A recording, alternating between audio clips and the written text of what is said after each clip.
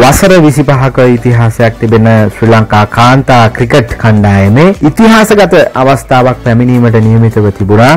ඒ තමයි 19 වනදා නවසීලන්ත කණ්ඩායම පරාජයට පත් කරලා පළවෙනි වතාවට 20 20 හරි එක් දින හරි මොකක් හරි ලෝක කුසලානයක අවසන් පූර්ව තරඟයකට යෑමේ සිහිනය ඇත්තට මේ නැවතත් සිහිනයක් බවට පත් වෙනවා. ඉතින් නැවත ආයේ කවදා මෙවැනි අවස්ථාවක් එයිද කියන එක අපි හරියට දන්නේ නැහැ. යනවා නම් මෙවර තමයි හොඳම අවස්ථාව තිබ්බේ. මොකද හොඳ ජවයකින් පළවෙනි තරඟ දෙකම ජයග්‍රහණය කරලා තිබ්බේ. ඉතින් මේ ප්‍රබල කණ්ඩායම් දෙක පරාජයට පත් කර ගැනීමට හැකියාවක් ලැබුණේ ඕස්ට්‍රේලියාව සහ නවසීලන්තය. ඉතින් ලෝක කුසලාන අවසන් පූර්ව තරඟයකට යනවා නම් මේ ප්‍රබල කණ්ඩායම් දෙකක්වත් පරාජයට පත් කිරීමට සිදුවනවා අනිවාර්යෙන් මේක වාරයකදී. නැතුව නම් ඉතින් අවසන් පූර්ව තරඟවලට යන්නට විදිහක් නැහැ. ඉතින් වාසනාවට අවසන් පූර්ව තරඟවලට ගිහිල්ලා වැඩකුත් නැහැ ඒක අතකට. නමුත් ඉතින් ඉතිහාසය වෙනස් කරන්නට තිබ්බ ලොකු අවස්ථාවක් තමයි ගිලිහුණේ. ඒකත් එසේ මෙසේ නෙමේ පරාජයට පත් වුණේ. දැවැන්ත ලෙස පරාජයට පත් වෙලා නවසීලන්ත කණ්ඩායම අංක දෙකට ගෙනහල්ලා දාලා තමයි අවසානයේදී අපි පරාජයට පත් වුණේ. ඉතින් දැන් නවසීලන්ත කණ්ඩායමට හොඳ අවස්ථාවක් තියෙනවා. අවසන් පූර්ව තරඟවලට යන්න ඒත් දකුණු අප්‍රිකාව අතේ තව අවස්ථාව තියෙනවා. බංග්ලාදේශ කණ්ඩායම දකුණු අප්‍රිකාව විසින් පරාජයට පත් කරොත් ඔවුන් අනිවාර්යෙන්ම අවසන් පූර්ව තරඟවලට යයි මොකද ලකුණු වේගය ගත්තහම දකුණු අප්‍රිකානු කණ්ඩායමේ ලකුණු වේගය හොඳයි නවසීලන්ත කණ්ඩායමට වඩා. ඉතින් අපි මතක තියාගන්න ඕනේ නවසීලන්ත කණ්ඩායම ඍණ හතරේ ඉඳලා තමයි දැන් ධන 1.3යි දක්වා අවසාන තරඟ දෙක ජයග්‍රහණය කරලා මෙතෙන්ට ගෙනාවේ කියන එක කියන්න ඕනේ. ඉතින් බංග්ලාදේශ කණ්ඩායම අපි ලොකුවට පරාජය වුණා කියලා හිතාගෙන හිටියට ඊට වඩා ලොකුවට ලංකාව පරාජයට පත් වුණා අන්තිමේදී නවසීලන්තය හමුවේ. ඉතින් වෙන්නේ ඔය වගේ අපි නොසිතූ දේවල් තමයි. ඉතින් අපි කිව්වා එකම තුරුම්බුව චමරිය අතපත්තු කියලා. ඉතින් චමරිය අතපත්තු කලබලයක් නැතුව ක්‍රීඩා කරා. ඉතින් තාමත් හොඳ පන්දුවක් වැටුණා. ඒ විනිසුරු දුන්නේත් නැහැ දැවියාම. ඉතින් අවාසනාවන්ත ලෙස තෙහිතා ඉඳලා කණ්ඩායම රිවිව් අවස්ථාව ගත්තාම ඒ දැවියාමක් විදිහට සඳහන් වුණේ. ඉතින් චමර විතරයි ලකුණු 19ක් ලබා ගත්තේ පන්දු 21කදී.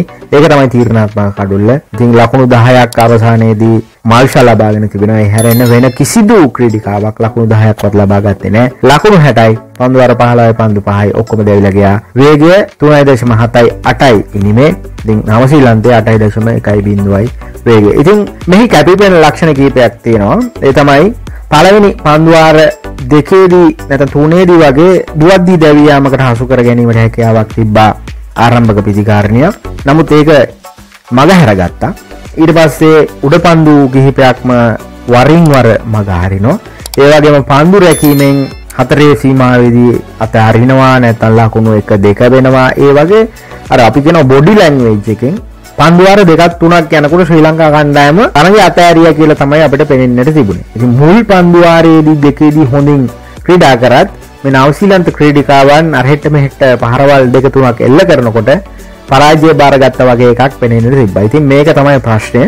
එතනින් පස්සේ ආපු උඩ පන්දුත් අතෑරෙනවා අතට එන්න පන්දුත් අතෑරෙනවා. ඉතින් ඒ වගේ දේවල් ටිකක් වුණා. ඉතින් තරංගය අවසන් වීමට පෙර තරංගය අතහැරපු එක තමයි මෙතනදී මේ ලොකු ලකුණු ප්‍රමාණයකට යාමට අවස්ථාව උදා වුණේ කියන එක ඉතින් බලා ඉද්දී අපිට පේනවා. ඉතින් මේ ශ්‍රී ලංකාව නැත්නම් ආසියානු කණ්ඩායම් වල තියෙන ආත්ම ශක්තිය ප්‍රශ්නයක් තියෙනවා සමහර කණ්ඩායම් වල. ඇත්තටම ඒක දැන් ඉන්දියාවේ නම් පෙන්වෙන්නට නැහැ. ඉන්දියාව හරි ශක්තිමත් මානසිකව ශක්තිමත් කණ්ඩායමක්. පාකිස්තානයේ වෙලාවකට අපිට පේනවා බංග්ලාදේශෙත් පේනවා. ඉතින් ලංකාවේ ඒ විදිහටම පේනවා. මානසිකව ඇඩන් වටනවා එක සිද්ධියක් දෙකක් වෙච්ච ගමන් ඉතින් එයින් තරඟ ජයග්‍රහණය කරන්න බෑ පන්දුවාර විසයි විසයි හතලියක් ක්‍රඩා කරනවා පන්දුවාර දෙකක් තුනක් යනකොට තරගේ තීරණය කරන්නට බෑ කියන එක තමයි ඉතින් අපි කවුරුත් දන්නේ. ඉතින් උපදේශකවරයක් විදිහට අලුතින් පත් කරා සුසන්තිකා ජයසිංහ අපේ ලෝකයම හඳුනන ඔලිම්පික් පදක්කම් ලාබිනිය ඉතින් ඇය මේ උපදේශිකාවක් විදිහට පත් කරනකොට ශ්‍රී ලංකාවේ මිනිස්සු ටිකක් hina වුණා සමාජ මාධ්‍යවල. ක්‍රිකට් ගහන්න ඕනේ තැන ගිහිල්ලා දුවන්න පුළුවන් එක්කෙනෙක් පත් කරනවා. එතකොට ඒ වගේ ඒක ඒක දේවල්. ඉතින් එහෙම බැලුවොත් එහෙම ශානියා මිශ්‍රා ටෙනිස් ක්‍රීඩිකාව. මගේ මතකයේ හැටියට RCB කණ්ඩායමට හරි ඒ වගේ IPL කණ්ඩායමකට උපදේශිකාවක් විදිහට දැන් පත් කරලා තිනවා. ඉතින් ඉන්දියාවේ මිනිස්සුත් hina වුණාන මේ ටෙනිස් ගහන්න ඕනේ උන් ක්‍රිකට් වලට දානවා වගේ කියලා. ඉතින් එහෙම එකක් නෙමෙයි. මොවුන්ව උපදේශිකාවන් විදිහට දාන්නේ ඔවුන් ජාත්‍යන්තර වශයෙන් යම් යම් දේවල් ඒ කියන්නේ මේ මානසිකව ශක්තිමත්ව එක එක දේවල් වලට මුහුණ දීපු මිනිස්සු හින්දා ඔවුන් දන්නවා ඒ තත්ත්වයන් පාලනය කරගන්න. ඉතින් හැමදේම විවේචනය කරන පුරුද්දක් ලංකාවේ තිබෙනවා මතු පිට බලලා.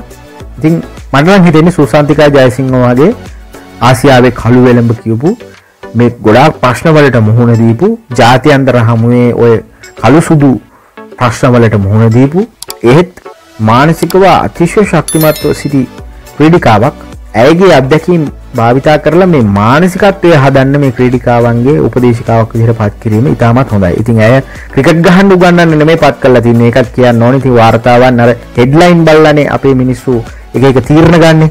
කියවන්න කම්මැලි, අන්තර්ගත නැත්නම් අහන් ඉන්න කම්මැලි. ඉතින් සමහර වෙලාවට අපේ තම්නේල් එක බලලා නැත්නම් හෙඩ්ලයින් එක බලලා කමෙන්ට් දාගෙන යනවා අස්ස බලන්නේ නැතුව. ඉතින් ඕක තමයි පුරුද්ද. ඉතින් එහෙම නෙමෙයි සුහන්දලා ජයසිංහ පැහැදිලි කරා ඇය පත් කරලා තියෙන්නේ මේ කාන්තා ක්‍රේඩිකාවන්ගේ මානසිකත්වය ඉහළනංවන්න නැත්තං ඇයගේ අත්දැකීම් භාවිතා කරමින් මේ කණ්ඩායමට උපදේශ සපයන්න තමයි නැතු දුවන්න පුරුදු කරන්න හෙම නෙමේ සමරුන් එහෙමත් කමින් දාලා තිනවා දැක්ක සමාජ මාධ්‍යවල දුවන්න පුරුදු කරන්න උපදේශ සපයන්න කියලා.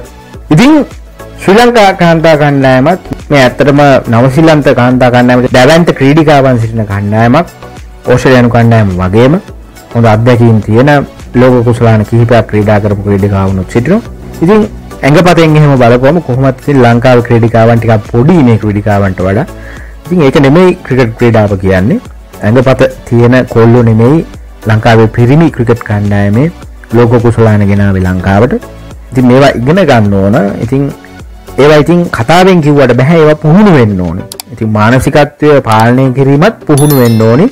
පන්දුවට පහරදීම පන්දු ඇවීම පන්දු රැකීම වගේම මානසිකත්වයත් පුහුණු කරගන්නට ඕන ඉතින් ඒකට වැඩ පිළිවෙලක් ඉදිරියේදී හදයිති කියලා අපි බලමු ඉතින් ලංකාව කාන්තා කණ්ඩායමේ තව අඩුපාඩුවක් තමයි චමරි අතපත්තු වගේ ප්‍රහාරයන් එල්ල කරලා හැකි තව පිතිකාරණයක් දෙන්නෙක් නැති එක හදිස්සියකට වේගෙන් ලකුණු ලබා ගන්නට පුළුවන් පිතිකාරණයක් දෙන්නෙක් නැති එක ලොකු ප්‍රශ්නයක්. ඉතින් හර්ෂිතා මාධවී වැනි අපි කෙනවා ටයිමින් වලින් සෙල්ලං කරන. නැතම් ලොකු පහරවල එල්ල කරේ නැතත් කල්යල් මැනලා පහරවල් එල්ල කරන්න පුළුවන් පිතිකාරණයන් ඉන්න එක ඒ වගේ පිතිකාරණයන් නැතම් මසල් පලේස් ලගේල ගෙන ගැන බැලන්ත පහරවල එල්ල කරන්න පුළුවන් ක්‍රීඩිකාව හොයාගන්න ඕනිතින් ඒක ලංකාවේ කාන්තා ක්‍රිකට් ශ්‍රේෂත්‍රයක වැඩක්.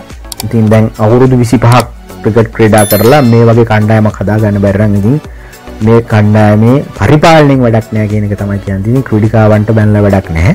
බොස් කියල වැඩක් නෑ අවුදු විසි පහක් මොකද කරේ කියන එක තමයි පරිපාලනයෙන් අහන්න තියෙන්නේ කාන්තා ක්‍රිකට් කොටසේ. ඉතින් මේ ලෝක කුසලානයේදල කාන්තා කණ්ඩායමේ පඩිත් වැඩි කල්ලා තියෙනවා.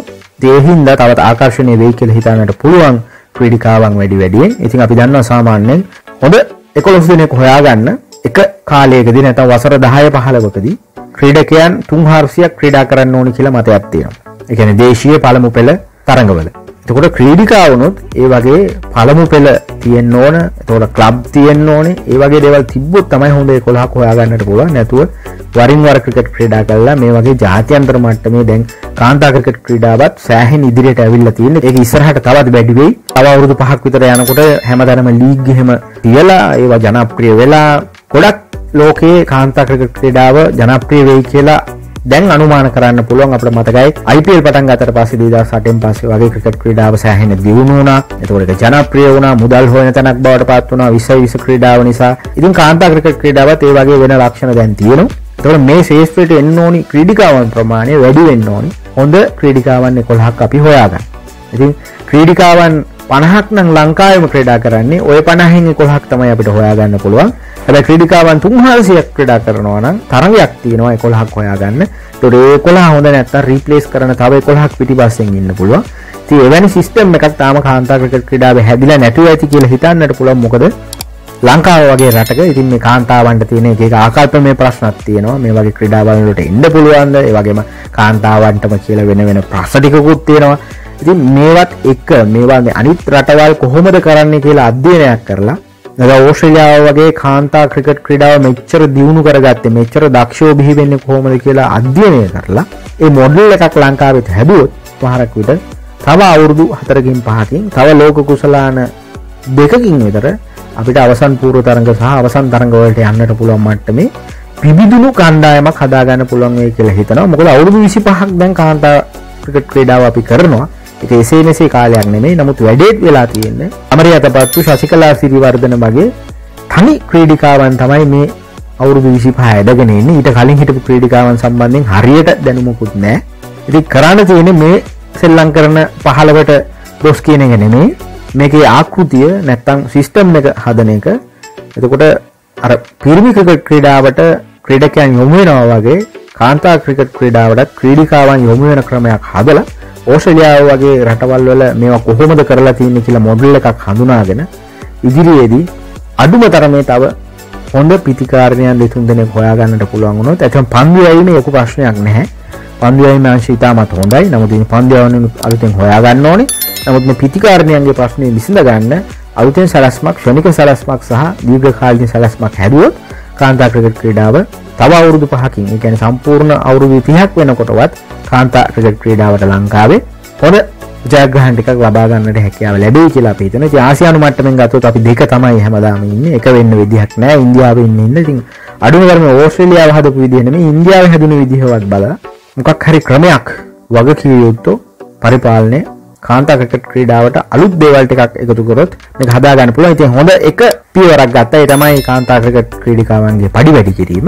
ඒක හොඳ අරමුණක්. ඒ වගේ තව පියවරන් කිහිපයක් අරගෙන මේක දියුණු කරන්නට වැඩ කරොත් කාන්තා ක්‍රිකට් ක්‍රීඩාවත් ලංකාවේ ගොඩ දාන්න පුළුවන් වෙයි කියලා තමයි අපිට නම් පේන්න තියෙන්නේ. එහෙම බැරි දෙයක් නෙමෙයි. මොකද ලෝකයේ 20 20 කණ්ඩායමට යන අපේ ක්‍රීඩිකාවන් ඉන්නවා. එහෙම ඉන්න කණ්ඩායමක්. නමුත් ඉතින් අර 11 දෙනෙක් එකතු වුණාම මේක ශක්තිය අඩුවෙන එක තමයි තියෙන්නේ. ඒකට ඉතින් ඒ ක්‍රීඩිකාවන්ගේ වැරද්ද නෙමෙයි.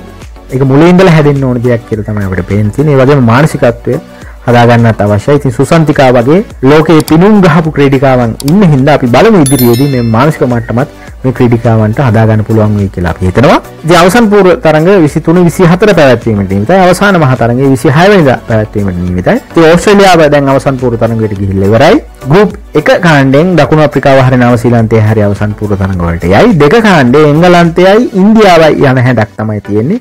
අපි බලමු මෙවර කාන්තා ලෝක කුසලානේ කාටද යන්නේ කියලා. Channel එක subscribe කරන්න. සීනුව ඔබලා වැඩසටහන් ආපු ගමන්ම දැනගන්න.